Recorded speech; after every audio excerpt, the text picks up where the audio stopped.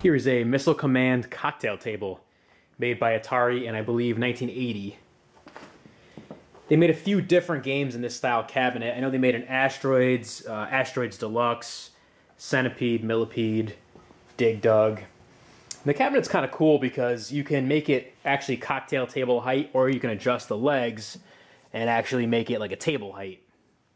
This came in on a, a tune-up for our local customer um, the cabinets also have tempered glass top, so when they were in the bars getting abused, they can uh, withstand uh, that that mug, beer mug, crashing down on it.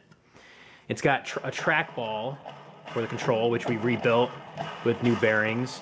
Um, it's got the the buttons all inspected and working good. Now it's a cocktail table, meaning that there's actually two different controls to it, so you can sit head to head and play.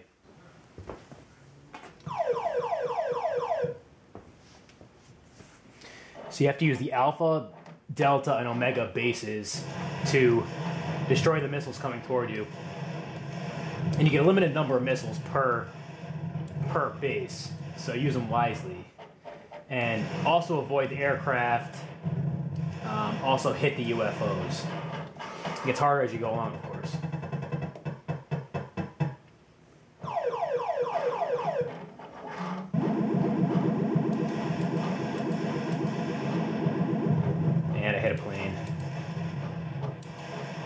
You really want to hit the very tip of the missile.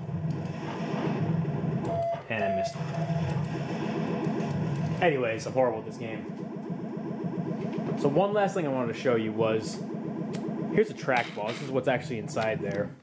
And the ball spins on a set of bearings, which spin this wheel and activate this optic here, which sends signal back to the board. That's actually how this works. Instead of having a joystick up, down, left, and right, you have more of a fluid, circular movement with the with the um, controls in the game. We actually rebuilt the used trackball. We rebuilt this trackball in this game with uh, new bearings lubed everything up. Works great. If you're interested in classic gaming, check out the website. It's arcadespecialties.com.